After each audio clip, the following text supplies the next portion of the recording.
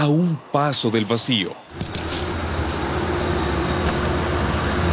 Son más de 15 años de lucha de una comunidad no atendida. El pasaje Rosales en San Salvador, a orilla de la autopista Comalapa, sufrirá probablemente una temporada más la zozobra ante el constante desprendimiento de la tierra que está bajo sus pies. Esperando una pronta ayuda, bien sea de la alcaldía o de otra institución, porque la realidad es que estamos bien afligidos porque se acerca un invierno copioso y si se nos va este otro pedazo ya quedamos más más en peligro porque estamos más cerca del abismo. Don José es nada más uno entre una docena de vecinos del lugar que temen que un paso en falso les represente poner su vida en peligro.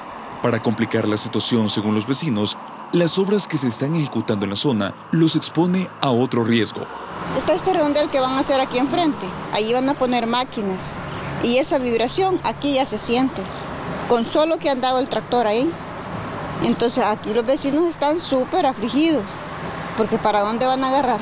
Mientras tanto, los habitantes no consideran abandonar sus casas ni dar un paso atrás a sus demandas. Tenemos los temblores, el invierno, que dicen de que viene bastante fuerte.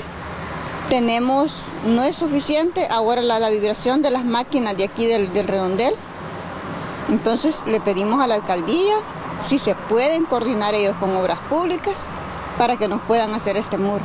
Con imágenes de Edwin Linares, Roberto Sánchez, Noticias Visión.